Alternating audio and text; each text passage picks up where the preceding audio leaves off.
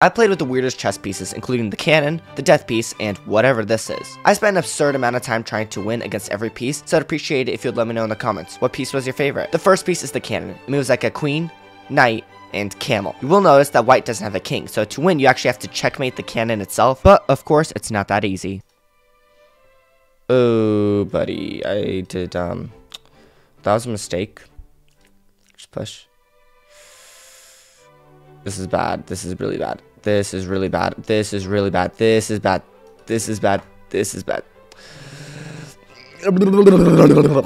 Now, this didn't just happen once. I was literally manhandled by fairy stockfish.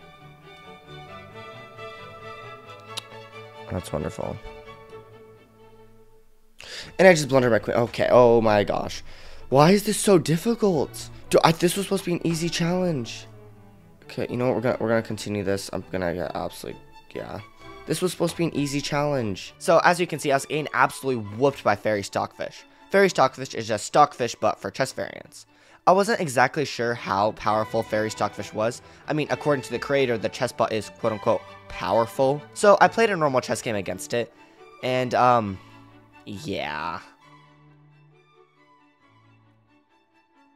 So I found a solution to the issue of the chess bot being too powerful. I actually found a way to debuff it so I can actually beat it. I'm basically only going to allow the chess bot to have a depth of 1, which should help me win, theoretically. Boys, I think we did it. I think we did it. I think we finally managed to maneuver a checkmate. All these squares are covered. Can't take because of that. There's, there's nowhere because I move here and this is defended. Please, I can't even look. I can't even look. Yes! Yes! Yes!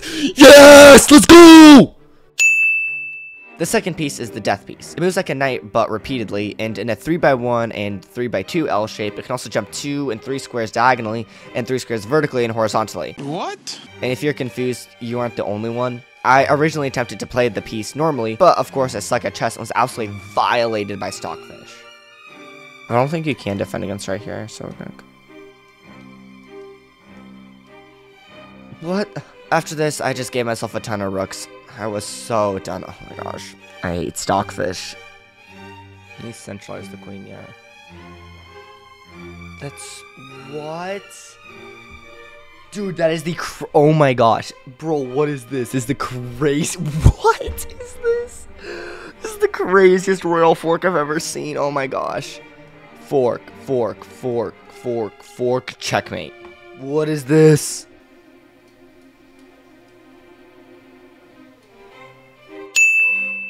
Next, I played against Sparta! Now, I didn't really know how any of these pieces worked, so I was getting absolutely manhandled by the computer.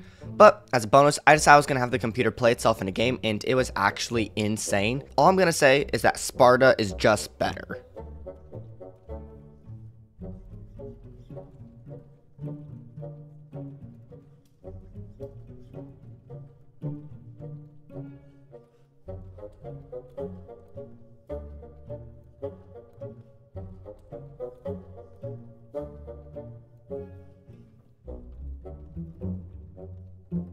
And if you enjoy chess variants, you'll probably enjoy this video here where I played in every dimension of chess.